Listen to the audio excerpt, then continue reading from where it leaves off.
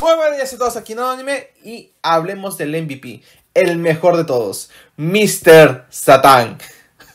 Es un personaje increíble, sencillamente lo que se hizo con este desgraciado es magnífico, fuera de broma, fuera de todo. Incluso llegó a tener es una especie de, podemos decir, legado, porque incluso cuando hay un personaje así no tan poderoso, pero que es un MVP, alguien que se la saca completamente aún afuera de la escala de poder, se le llama el personaje clásico de Mr. Satan o un personaje a lo Mr. Satan.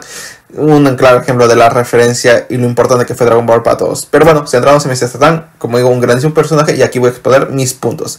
Así que ya, sin nada que decir, que estoy viendo Black Clover y Summer Orlandes, lunes, miércoles y viernes a las 7 de la noche peruana. Link, como siempre, abajo en la descripción. Empecemos con ese video.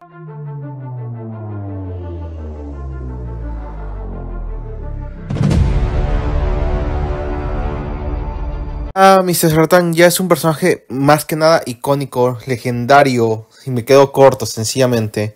Es fantástico lo que logra hacer este desgraciado siendo o estando en una serie de peleas de putazos y que pues al final pues es uno de los tipos más débiles de toda la serie con buena construcción de personaje, buen desarrollo. El desgraciado sencillamente se ha ganado respeto de toda la comunidad. No por nada es uno de los más queridos y sinceramente es, como digo, se lo tiene ganado es un personaje muy bien establecido y me encanta cómo empezó siendo una broma y terminó siendo una pequeña inspiración. Ya vamos a hablar de todo eso. Sencillamente Mr. Satan es un grande, un grande entre los grandes y nadie creo que lo pueda, este, pues sencillamente juzgar o decir no, no lo es. Entonces, bueno, ya no largo más esta introducción, más lo debido, como siempre digo, y quiero dividir este video en los siguientes puntos. Quiero hablar de su aparición, de las mentiras que logra o que hace, pues ya van a entender a lo que me refiero con mentiras. Quiero hablar de su encuentro en la este con Buu, sobre todo cómo lo dice, este, las palabras que dice Piccolo en ese momento. Ya otra vez van a entenderlo.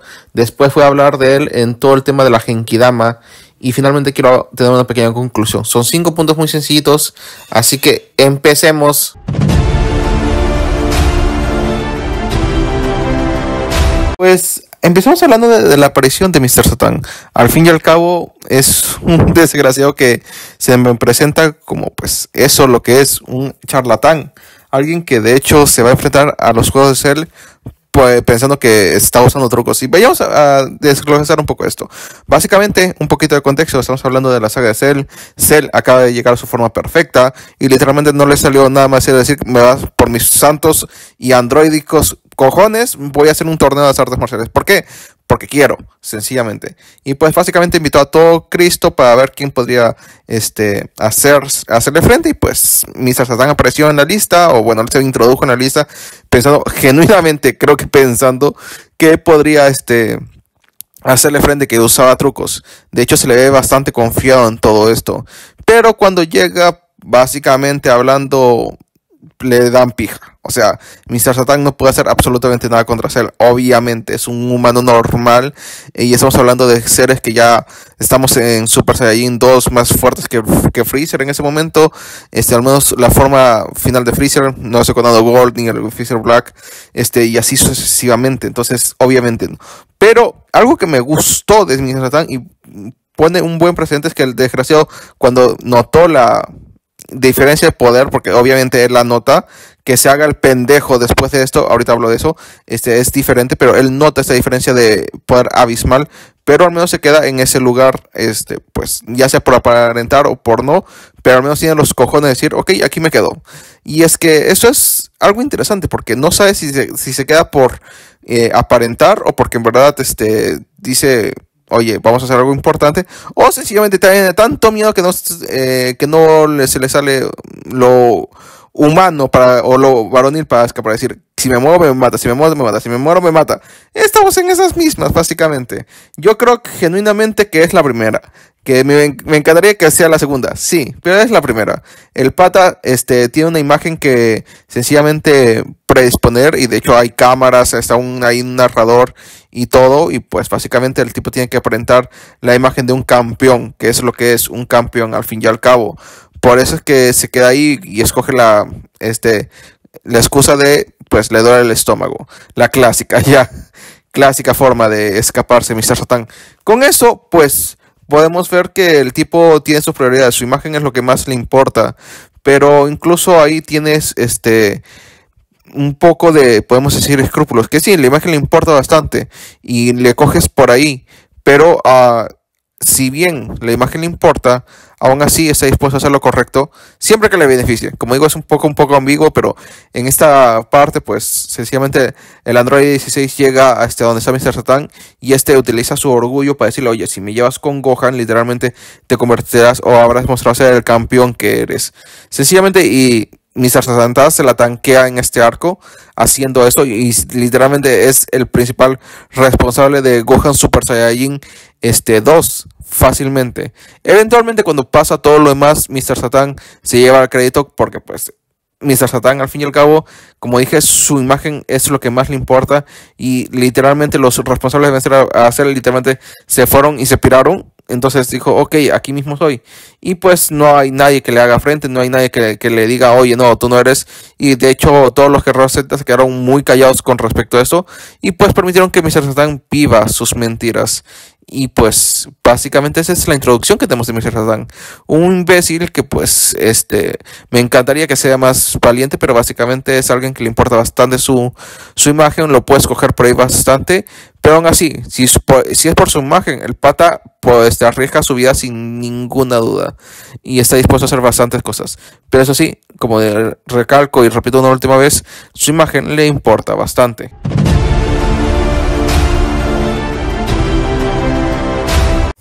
A ver, con mentiras me refiero a todo lo que hizo Mr. Satan eh, durante toda esta época. Porque al fin y al cabo, el desgraciado lo único que hizo en esos siete años fue incrementar su propia historia. Debido al hecho de que pues, los guerreros Z dejaron las artes marciales, pues cuando se reincorpuso el torneo de las artes marciales, pues este lo ganó fácilmente. Es cierto que es un debilucho con los estándares que tenemos de Dragon Ball, pero con los estándares de pues, este mundo o de los terrícolas es bastante competente, por así decirlo. Y lo que hizo en todo esto fue básicamente, como ya dije, poner o engrandecer su leyenda hasta el punto que en la ciudad en la que él vive, no estoy 100% seguro si nació ahí, pero en la que vive, literalmente cambiaron el nombre de la ciudad de Ciudad Estrella a Ciudad Satán. Entonces, esto es lo que permite eh, o hace que, básicamente, si tú estás viendo Dragon Ball por primera vez, te encabrone el desgraciado no solo se ha quedado con el título de pues, el que mató a ser y que salvó al mundo de, Gohan, sino ha sacado un montón de beneficios del mismo. Y literalmente cuando conoces, este, bueno, cuando te recuerdas con Gohan adulto, pues Mirk dice que están teniendo problemas económicos, considerando que ese tipo se está dando la gran vida por logros que logró Gohan, sencillamente.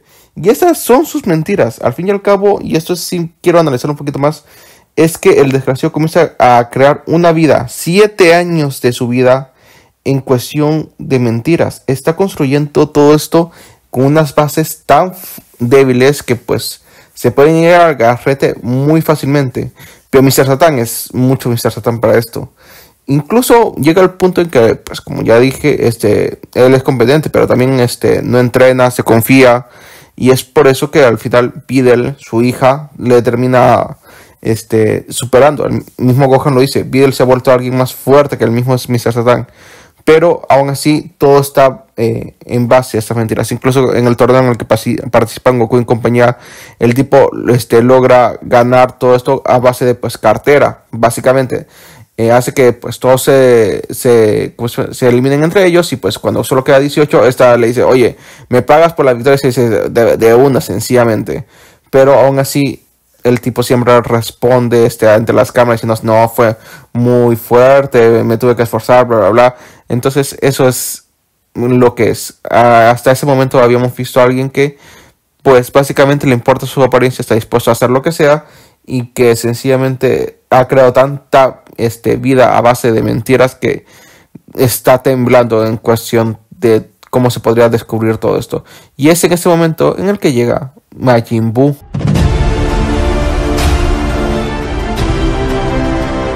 Llegada de Majin Buu, básicamente lo que tiene que hacer Mr. Satan en este punto es sobrevivir. A ver, básicamente él es un humano, no esperas que haga gran cosa. De hecho, lo único que esperaba hasta ese punto, o cuando recuerdo, si es que recuerdo bien porque mi memoria es pésima, es que el pata no la cagase porque pues, estábamos centrados en otras cosas, Goku, la fusión, etcétera. Pues cuando llega Mr. Satan a, hacerse cargo, entre comillas, de Buu, pues tú dices, ah, ok, un par de capítulos graciosos, Majin lo va a matar y vamos a seguir en, con nuestra lío, sencillamente. Pero la verdad aquí es donde sorprende bastante, a mi punto de vista. Incluso el mismo Piccolo dice que Mr. Satan es el campeón mundial no por ser el más fuerte, sino por el mismo corazón que tiene. Y es que Mr. Satan sí llega acá con trucos sucios, pone dinamita en la casa de Majin Buu, le dice voy a ser tu sirviente para ganarse su confianza y todo lo demás. Pero lo que hace es algo muy diferente y esto es muy contra esto contrapone o contrasta bastante con lo que fue su, su vida para este, o su imagen anterior, de que siempre le importaba su imagen, de que este, iba a usar cualquier método necesario, pero en ese momento pues creo que él conoce a Majin Buu, al fin y al cabo. Él es una persona que de hecho nunca em, hasta este punto nunca me había visto que sea abierto con nadie, ni con su propia hija, al fin y al cabo. Siempre se tenía que excusar en la imagen de este eh, guerrero perfecto, que esto, que lo otro, que no lo es para nada. Pero nunca había dejado a nadie, como decirlo, entrar. Y es por eso es que Boo es importante para él. Eh, pues como ya dije, él estaba aquí para matarlo, pero llega un punto en el que Boo llega con un perrito y sinceramente pues Mr. Satan le dice, oye, es un perrito, está lastimado, cúralo. Y pues este Majin lo cura, el perrito le agradece y este comienza a jugar con él. Y Mr. Satan ve humanidad, ve sencillamente alegría y bondad en su corazón. Por eso es que le hace una pregunta completamente genuina. Una, una duda de ¿por qué estás matando gente? No, no hay doble intención, no está buscando justificar nada, ni absolutamente otra cosa. Es una duda genuina. Y este le responde que pues así es como lo criaron. Y Mr. Satan haciendo un poco de juego, decir, oye, pero si las personas que te crearon son un asco, no deberías hacer lo que digas, o no deberías hacer lo que ellos te enseñaron. Dice, está bien. Y había salvado al mundo. Así es sencillo. Simplemente hace una duda genuina. Y es por eso que son amigos eh, Mr. Satan le demostró pues amistad y él se pudo abrir con una persona. Tal vez no contarle toda su vida, pero sí demostrar este pues debilidad, porque obviamente Majin le puede sacar este mil y un temas a, a Mr. Satan, pero por, lo cual él siempre va a ser más débil. Pero se pudo abrir, tuvo un amigo, algo que de hecho hasta este punto nunca habíamos visto de Mr. Satan, un amigo, alguien con el cual podía jugar con, con el perrito, con este todo lo demás, se fue a comprar este eh, pues comida. Incluso cuando se fue a buscar comida, el tipo pensó en hacer explotar su dinamita, pero dijo no, sencillamente no. Y pone la excusa de que estaba ahí con el perro, bla bla bla, pero creo que es una excusa vacía, al menos bajo mi lectura de la situación, porque ve que Majin Buu está cambiando o no es una mala persona. Como digo, él hace esta pregunta, hace todo esto, intenta cambiar a Majin Buu de este, desde adentro, ya que se dio cuenta que no era una mala persona. Otra vez, recargo las palabras de Piccolo, y es que esto es lo que hace que Mr. Satan sea y se gane el respeto de Piccolo, sea el mejor de todos y se lo, y se lo ganó por completo. Porque mientras todos los demás pues estaban enfocados en matar a, a Majin Buu, estaban enfocados en hacer todo para este, ganar la batalla, que esto, que lo demás, Mr. Satan encontró otro enfoque sin quererlo y lo aprovechó. Lo aprovechó por completo. Y aún así, la vida es cruel. Unos dos desgraciados matan al perro. Y mientras este Majin Buu estaba ahí enojado, fue Mr. Satan quien buscó sencillamente paz y justicia. Y le devolvió lo mismo. Le dijo, oye, el perrito está vivo, puedes curarlo. Y así es como lo terminan curando sencillamente se enojó por él, se, enojó por otra persona, no porque le hayan quitado este, su imagen, algo que nos habían mencionado bastante, que yo he mencionado bastante, que su imagen, todo lo hacía por su imagen, bla, bla, pero hasta en ese punto estaba tan enojado que su imagen no le importó un carajo. Y es que ahora Majin Buu y ese perrito eran parte de su familia, eran personas que le importan bastante. Y por eso se enojó, mostrando más humanidad. y más trasfondo en ese punto. Sin embargo, pues sale el Buu flaco gris y termina absorbiendo a, a Majin Buu para crear a Super Buu y sinceramente aquí Mr. Satan no puede hacer mucho o no debería y aún así logra hacer algo magnífico.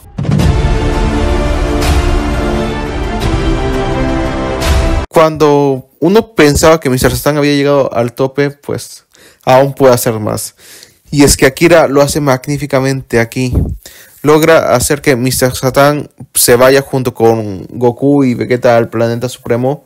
Y después de un par de chistes pensando que el tipo estaba ido de la cabeza, estaba soñando que podía volar, bla, bla, bla, pues se da cuenta de la verdad y pasan mil y un cosas y pues básicamente Kid Buu no puede darle un golpe y es porque aún tiene a Majin Buu gordo en el cerebro y lo termina expulsando. Todo eso es un poco más irrelevante, pero lo comento porque al fin y al cabo es parte de, de lo que hace Satan aquí.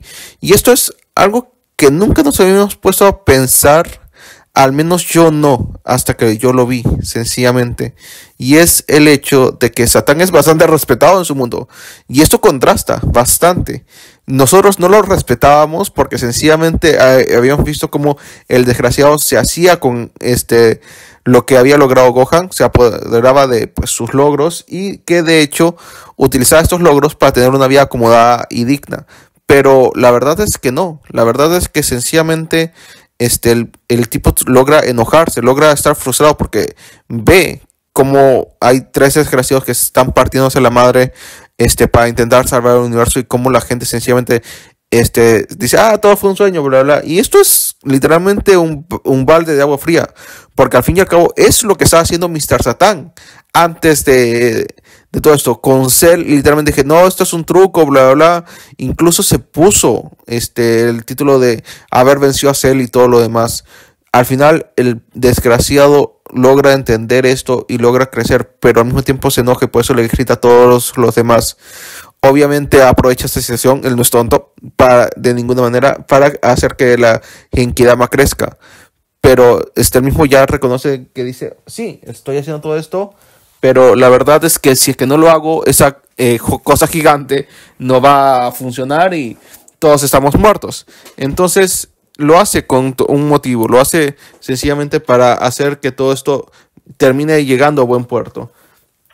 Pero al final mm, todo se va al carajo cuando literalmente la Genkidama no está funcionando y Vegeta lo presiona para que haga otra vez esto para que toda la gente vuelva a levantar sus brazos. Y aquí demuestra otra vez escrúpulos, muestra tener un corazón de, de oro sencillamente, porque él dice, no importa si que lo puedan revivir o no, no puedo hacer nada que atente contra la vida de los seres queridos, no puedo hacer nada que atente contra los humanos.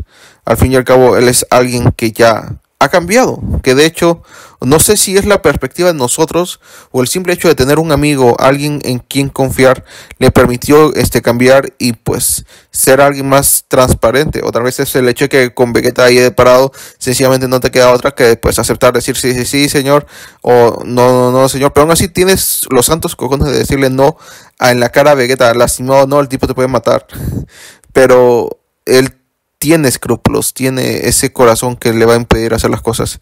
Incluso al final de todo se va y protege a su único amigo. Pasa lo de Kid Buu, lo vencen y Majin Buu, este gordo, queda vivo. Y él le dice, yo lo voy a cuidar. Él va a estar seguro en mi casa, va a estar tranquilo.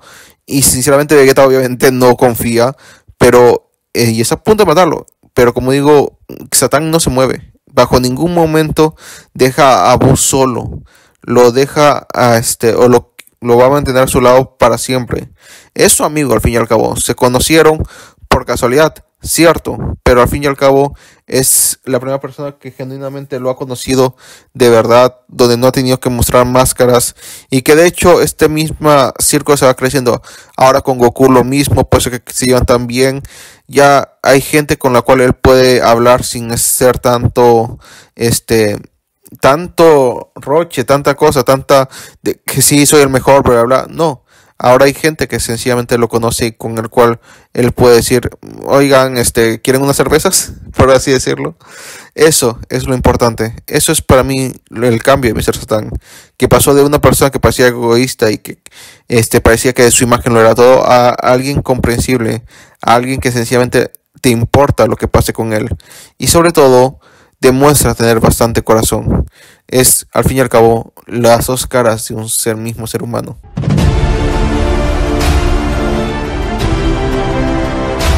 Finalmente, hablemos, o en conclusión, hablemos del mismo legado que tiene Mr. Satan, ya que este es mismo estereotipo de personajes de que no es muy fuerte, pero tiene un gran corazón y sinceramente de, demuestra ser el puto amo porque Mr. Satan con todo lo que hizo, estando en escalas de poder muy diferentes, demostró ser el puto amo, pues sencillamente te da mucho de, de qué pensar, decir, joder, este tipo es sencillamente increíble.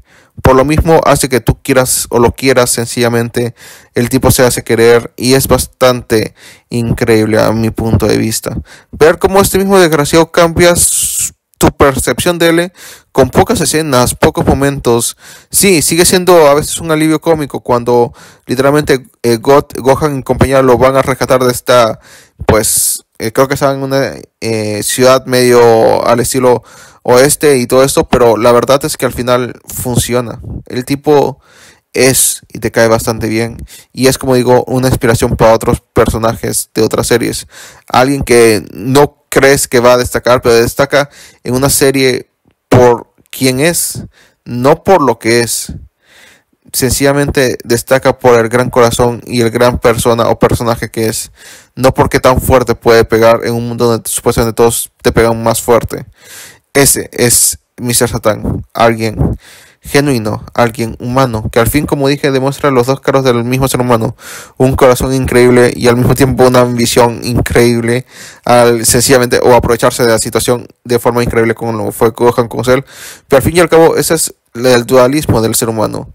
Al fin y al cabo, todos aprovecharemos una oportunidad para hacernos millonarios sin, sin dudarlo algún, ni de ningún momento. Y también muchos de nosotros sacrificaremos todo por nuestros seres queridos. Ambos casos son correctos, ambos casos están bien. Y así es como lo demuestra Mr. Radán. Un humano entre dioses, sencillamente. Así que bueno, ya sin nada que decir, que me dejen un buen like, comentario, suscribir, todo lo que quieran. Y nos estamos viendo el día de mañana con otro video. Bye. Bueno, si has llegado hasta aquí, quisiera agradecerte y si es que no es mucho pedir, pedirte un like, que eso me ayuda bastante porque recién estoy empezando. Y nada más, muchas gracias por ver y hasta la próxima.